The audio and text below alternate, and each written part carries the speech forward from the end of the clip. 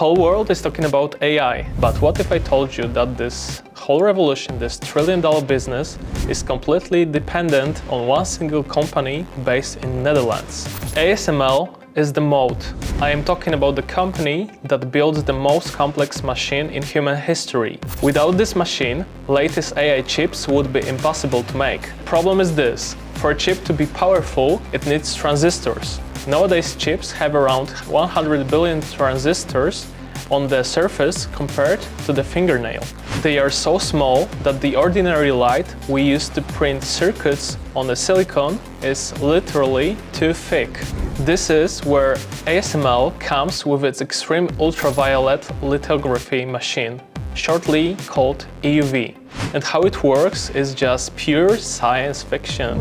Inside this 180 ton machine, a powerful laser hits a drop of tin 50,000 times per second. This plasma emits UV light, light with such a short wavelength that it can draw circuits just few atoms wide. Guess how many companies can build such a machine?